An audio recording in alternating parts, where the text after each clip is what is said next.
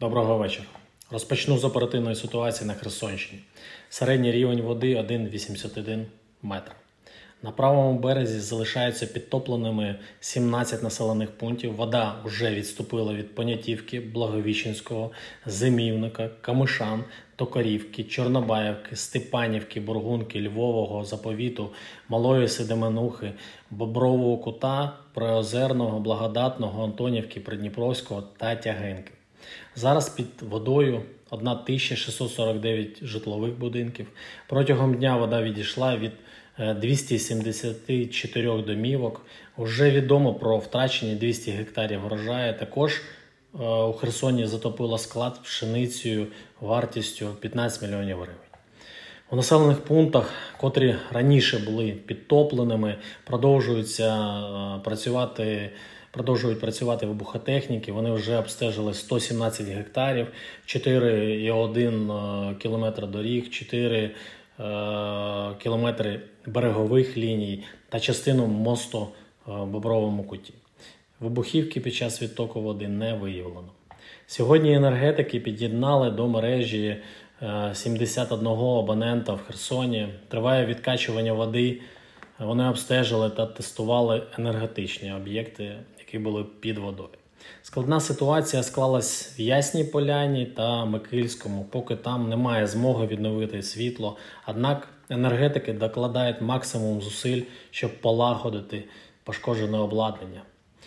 Калинівське та Краснолюбецьк завтра спробують під'єднати до мережі. Фахівці Херсонгазу працювали в корабельному районі Херсона, провели техобслуговування обладнання, а також е, запломбували запірні пристрої в 19 багатоповерхівках. Сьогодні газопостачання вдалося відновити в селищі Зимівник. Відтепер з газом 54 будинки. Херсон водоканал залучив до ліквідації наслідків 88 працівників, 22 одиниці техніки. Е, Фахівці обстежували затоплене обладнання, відкачували також воду, очищали від сміття е, каналізаційні станції та свердловини. Над усуненням е, наслідків затоплення Херсонського мікрорайону Корабел працювали сьогодні комунальники та рятувальники. Займалися розчищенням проїзду та прибиранням сміття, що занесла вода сюди. У Білозерській громаді відкачали води е, з 32 осель, а також вивезли 89 куб- кубометрів сміття. Також обстежено 66 будинків. У Білозерці залишається підтопленим е, всього 5 домівок ще, у Дніпровському 4, в інших селах громади затоплень зараз немає. У Тягинській громаді розмінували 55 будинків, у Калинівській 12. Також у Калинівській проведено відкачування води з 15 осель. Говоримо з нашими колегами з інших регіонів, аби вони відправляли до нас своїх фахівців з технікою е, для швидкого подолання наслідків затоплення.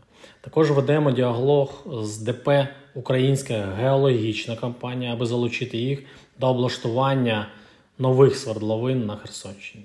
Дякую всім, хто долучився до ліквідації наслідків російського теракту.